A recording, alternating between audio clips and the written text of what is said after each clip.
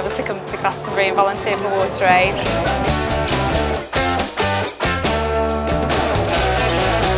It's a worthy cause, it's a lot of fun and it's a very rare opportunity. Not many people get to have a chance of not only working for WaterAid but also for getting to a festival for free.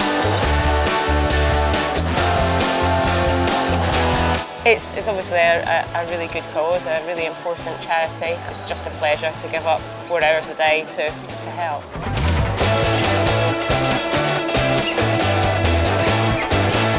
So far we've been doing an afternoon or an evening shift. It tends to get really, really busy in the evening because between all the bands, so we have queues and queues of women wanting to come and use the sheepies.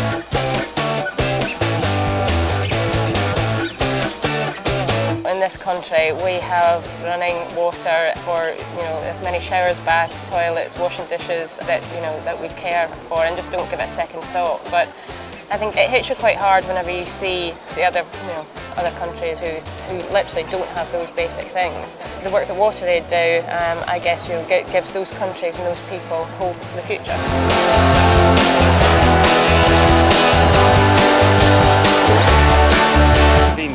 Tiring work doing the recycling, but it's good. I mean, we met loads of nice, friendly people and it's felt like we've contributed to the cause and we've seen some bands as well, so really enjoyed myself.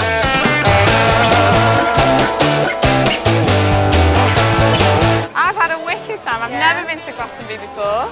It's just wonderful and I'm really glad that I got the chance to come. So thanks WaterAid, it was wicked.